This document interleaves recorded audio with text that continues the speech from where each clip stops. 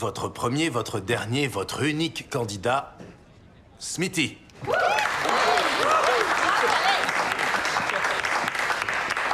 Merci, sergent. Écoutez, je ne vais pas vous ennuyer avec un long discours. Je suis représentant syndical depuis 2006.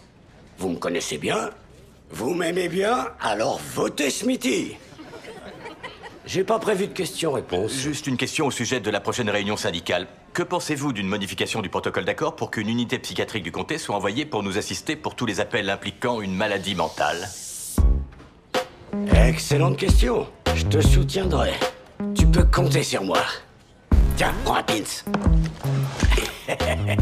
Eh ben, j'ai gagné le gros lot. Tu m'étonnes. Très bien, ce sera tout.